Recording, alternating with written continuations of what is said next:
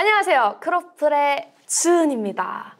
여러분, 첫 런칭입니다. 우리 찬양 나눔을 시작하게 되었습니다. 특별히 이 영상을 위하여 저희 특별 게스트들 한번 모셔보았는데요. 우리 한번 자기소개 부탁드려볼까요? 짜란! 크로플 촬영 을 같이 섬기고 있는 VLM의 최진일 간사라고 합니다. 네, 최진일 간사님. 아주 반갑습니다. 네, 좋습니다. 좋습니다. 그럼 이번에 또 누구시죠? 저는 VLM의 미디어 스틴트로 사역하고 있는 윤준희 순장입니다. 아, 윤준희 순장님. 여러분, 윤준희 순장님은 좀 뵌 적이 있지 않으세요? 여름 수련회 때, 너, 티야? 우리 이런 인사법으로 알려주셨던 분으로 유명하죠. 아, 네, 그렇습니다.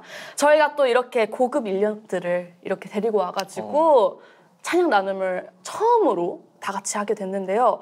어떻게 이렇게 처음으로 이렇게 큰 이런 토크쇼에 나오셔서 어, 그- 어떠한 기분이신지 네. 제가 한번 여쭤보고 싶은데요. 어떠시죠? 저는 너무 황송합니다. 이런 토크쇼에 제 1회 아닙니까 또?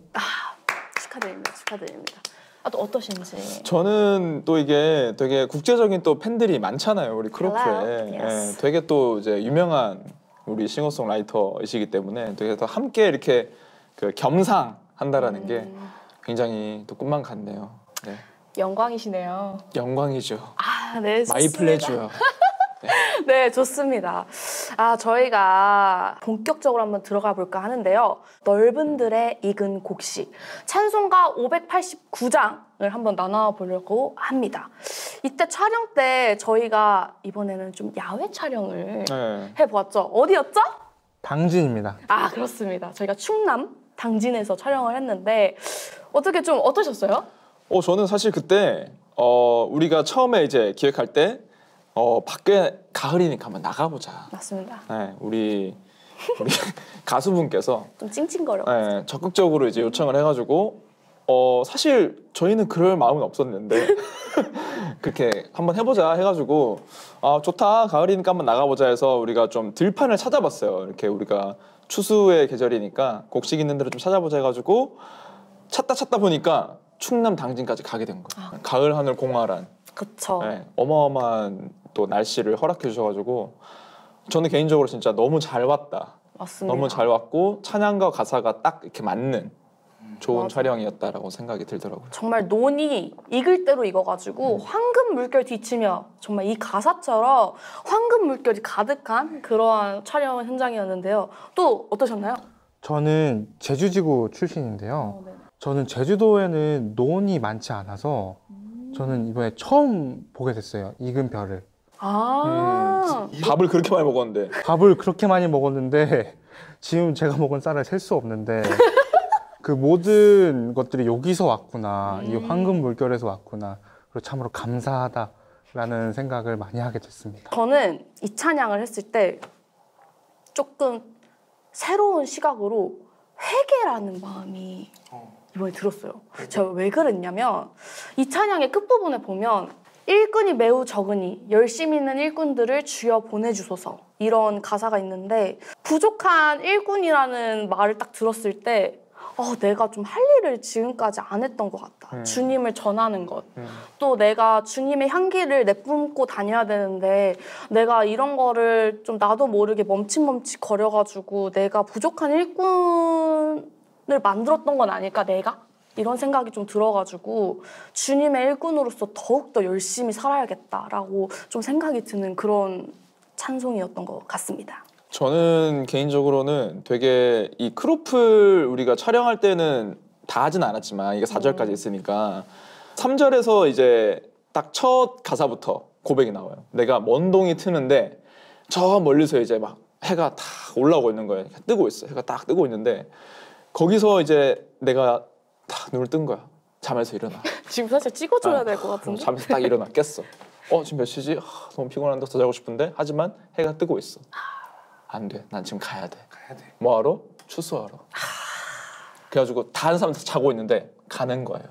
나와 집 밖으로 나와가지고 추수를 하기 시작해. 아, 근데 이 가사의 끝에 보면은 어떻게 돼 있냐? 황혼 때까지 추수하게 하소서. 아. 네, 그러니까 저는 이 가사를 보면서 3절의 가사를 보면서 인생에 완전히 비유를 한 거예요. 어 그러네요. 그러니까 내가 인생의 첫 시작부터 황혼 내가 죽을 때까지 복음을 전하며 살 수 있도록 맞아요. 맞아요. 도와주소서라는 이 고백. 그러니까 내가 하겠습니다가 아니라 하게 하소서. 음. 네, 나를 도와달라는 거죠. 이렇게 할 수 있도록 살 수 있도록 도와주소서. 어. 이 가사가 너무 와닿아가지고 하, 맞다. 진짜 내가 이런 삶을 살아야 되고 물론 내가 간사로서 살아가고 있지만 아, 늘 그런 고민을 하거든요. 내가 진짜 그런 삶들을 마땅히 살아가고 있는가에 대해서 늘 고민을 하는데 아니라고 생각될 때가 많아요. 음. 근데 이 찬양 딱 보면서 하, 이 가사가 정말 내 삶에 이게 딱 들어와서 이렇게 살고 싶다. 이런 음. 기도로 나도 살아가고 싶다. 이런 이제 묵상을 하게 됐습니다. 아, 네. 너무 좋은데요. 그렇죠. 2절, 3절 얘기를 하시니까 저는 1절이 되게 마음에 와닿았거든요. 저는 1절의 가사를 묵상하면서 제가 캠퍼스 사역했을 때를 떠올려 봤어요. 이제 캠퍼스 사역할 때 이 캠퍼스 복음화가 굉장히 멀어 보이고 아득해 보이게 느낄 때도 굉장히 많았거든요. 근데 그런 게 이 가사에 비유를 해서 넓은 들은 캠퍼스고 그리고 익은 곡식은 그 캠퍼스에 있는 아직 예수님을 만나지 못한 대학생들이라고 생각이 들었어요. 그래서 제가 했던 걱정들, 그런 마음들은 이 넓은 들의 익은 곡식을 바라보면서 아, 이걸 다 언제 거두지? 이런 걱정과 마찬가지였구나. 그런 걱정보다는 하나님께서 1절의 가사처럼 황금 물결과 향기를 저에게 허락하신 것을 감사하면서 열심히 전도해야겠다, 열심히 일을 거- 해야겠다라는 생각을 더 하게 된 것 같아요. 그래서 이 시맨들이 이 가사를 묵상하면서 더욱더 위로가 됐으면 좋겠다, 더욱더 힘을 낼 수 있으면 좋겠다라고 생각을 했습니다. 좋네요. 좋습니다. 네. 이렇게 추수감사절 찬양 넓은 들의 익은 곡식 한번 나누어 보았습니다. 네, 다음 찬양 뭐죠? 다음 찬양은 조금 더 우리가 CCC에 관한 찬양을 아. 해볼까 하는데요. 바로 주님께로 나아갑니다라는 찬양입니다. 기가 막히죠, 이 찬양. 네, 아 저는 이 찬양을 사실 이번에 23년 여름 수련회 때 처음 들었어요. 저도 그렇습니다. 그쵸. 저희 이번에 이세음 간사님께서 이거를 솔로를 부르셨는데, 와, 너무 은혜롭게 불러주셔가지고, 가사 묵상이 너무 잘 되는 거예요, 부르시는데. 그래서, 와, 이런 찬양이 있었구나 하고 찾아봤는데, CCC 찬양인 거예요. 어, 그렇죠. 제가 엄청 놀랐었던 기억이 있는데, 간사님은 이 찬양 알고 계셨어요? 네, 저는 이 찬양을 원래 알고 있었고 2008년도 때 이제 찬양을 알게 됐는데 2008년이요? 네, 2008년. 제 나이가 혹시 아 연세가 혹시 어떻게? 연세 제가 뭐 별로 안 먹었어요. 별로 안 먹었고 그때 몇 학년이요? 그때 이제 대학교 2학년이었죠. 대학교 2학년이셨군요. 네, 그래요? 소순장의 삶을 살고 있을 때 아무것도 모르는 멋 모르는 소순장. 네, 그때 이 찬양을 처음 이제 제주에서 음. Love 제주였거든요. 그때 수련회가. 아, 네, 그래서 제주 지구잖아요. 네, 맞아요. 네, 근데 뭐 하셨죠 그때? 저는 그때 중문초등학교에 네, 4학년으로 재학 중이었습니다. 제일 바쁠 때죠? 네. 4학년. 4학년이면 제일 바쁠 때예요. 막 고학년 그쵸. 네, 꺾였을. 때 어, 네. 저는 1, 2, 3학년 기강을 잡고 다녔죠. 그쵸. 4학년 때부터 약간 이게 어깨에 네. 약봉 들어가잖아요. 그죠? 힘줄 수 있거든요. 그쵸. 축구할 수 있고. 네. 네. 상한 심령과 갈급한 내 마음 음. 이런 이제 나의 어떤 부족함과 나의 연약함과 이런 것들을 다 그냥 솔직하게 고백하는 음. 네, 그런 가사라서 어, 이게 내 마음과 똑같다라는 음, 마음이 너무 많이 들었고 그 수련회 때도 이제 이 찬양을 나눌 때 이 찬양을 함께 부를 때 거기 있는 사람들 똑같이 이제 나랑 똑같은 마음으로 부르지 않았을까 음. 네, 이런 마음들이 좀 많이 들어가지고 어, 하나님께 정말 내가 마음을 어, 내어드리는 그런 기억으로 좋은 찬양으로 또 남아 있죠. 아, 저는 이 찬양 부르면서 조금 신기한 경험을 했었던 게 제가 이번 연도 여름 수련회 갈 때쯤이 굉장히 세- 생각할 일이 좀 많았었어요. 근데 이 찬양 부르기 전까지도 분명히 내가 수련회를 하고는 있는데 좀 뭔가 생각 정리가 안 된다고 해야 되나? 음. 그래서 마음이 계속 어지럽고 말씀을 들어야 되는데 말씀 듣기 전에도 계속 생각 정리가 안 되니까 뭔가 말씀이 튕겨나가는 그런 느낌이 정말 셌었거든요. 근데 이 찬양을 초, 초반에 계속 그냥 묵상만 계속 하고 있었는데 이 후렴에 경배합니다 나의 아버지 나의 아버지 주님을 간절히 원해요 사랑합니다 이렇게 좀 뭔가 내 고백을 있는 그대로 내뱉는 그런 구절들이 있는데 마음은 정리되지 않았지만 그냥 입 밖으로 소리 내면서 찬양을 불렀더니 정리가 되는 거예요. 그러니까 물론 그 상황이 정리가 되진 않았는데 그냥 마음 자체를 내려놓고 음. 가사를 그냥 내 입 밖으로 정말 내뱉으면서 찬양을 하니까 저도 모르게 지금까지 풀리지 않았던 그런 내 마음이라든지 생각이라든지 이런 것들이 좀 저절로 정리가 되면서 하나님께 맡기게 된 거죠. 그쵸. 음. 그래서 말씀이 더 그때 잘 쌓였던 것 같아요. 음. 찬양을 내가 준비되지 않은 때여도 그러니까 내 생각에 내가 준비되지 않은 때여도 아 이게 찬양을 부름으로써 정말 해소가 될 수 있고 음. 정말 주님한테 맡겨 드려야 되는 게 맞구나를 좀 다시 한번 깨달을 수 있었던 음. 네, 그런 찬양이었던 것 같습니다. 드디어 아니 벌써 저희가 마지막 곡 I Need You More밖에 안 남았습니다. 아. 시간이 너무 빨리 가죠? 너무 빠른데요? 하지만 마지막이 있어야 또 다음을 기약할 수 있는 거니까요. 네, 그럼 마지막 곡 I Need You More를 나눔을 해보려고 합니다. 이 찬양 가사 중에서 그 이전보다 더 음, 네. 그 than ever before. 음, Then ever before. 그러니까 그 가사가 어 이게 한국어로 할 때는 약간 이전보다 더라고 하면은 조금 무게가 뭐 그냥 이전보다 내가 더 이렇게 느껴질 수 있는데 제 개인적으로는. 근데 영어로 내가 than ever before라는 음, 가사를 딱 듣고 이제 찬양을 부르면은 어 내가 이전에 했던 그 사랑들은 정말 뭐 아무것도 아닌 건 아니지만 이전에 했던 그 사랑들의 크기가 정말 비교도 안 될 만큼 더 큰, 어, 더 큰 하나님을 더 알고 싶고 더 바라고 내가 더 갈망하는 음, 이런 이제 크기가 막 엄청 더 커진다고 해야 되나? 음. 이런 느낌으로 저한테 다가와가지고 되게 어 좋았던, 음. 예. 진짜 딱 와닿았어요. 그러니까 좀 영어가 어렵지 않지 않아요? Than ever before 뭐 야, 저 바로 right 할 수 있어요.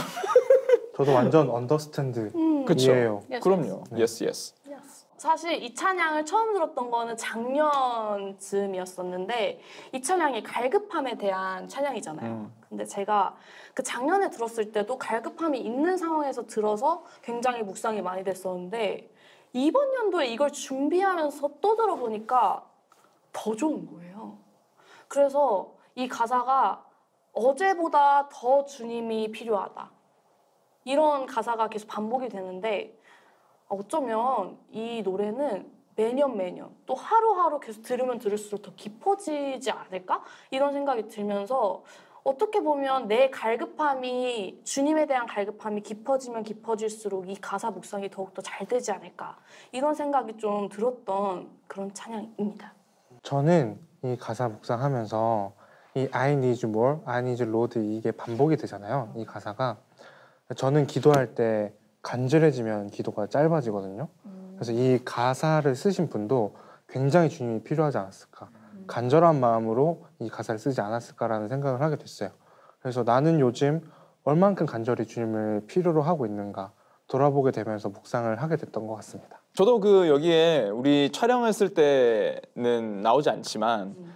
이 원곡의 브릿지 부분이 있거든요. 아 좋죠. 네, 그 부분에서 나오는 가사. 음, 어, 우리가 어, 하나님께 가장 최고의 음, 찬양을 드리자. 어, we give the 어, highest praise가 Yeah. 나와요. 네. 음, 그래서 그 가사가 저는 개인적으로 또 되게 많이 와닿았는데 그러니까 우리가 찬양을 할 때 뭐 이렇게 해야 된다 저렇게 해야 된다 뭐 이런 말도 많고 뭐 중심으로 해야 된다 뭐 이런 말 많잖아요. 근데 어 우리가 뭐 각자의 찬양의 모양 다 다르겠지만 그냥 노래 부르고 그냥 찬양하는 게 아니라 내가 할 수 있는 가장 최고의 찬양을 드리자. 최고의 찬양. 네. 최고의 찬양이 뭘까요? 최고의 찬양 어떤 거 같으세요? 예전에도 없었고 어제보다 더 나은 그게 최고 아닐까요? 그거 right way. 맞는 것 같아요.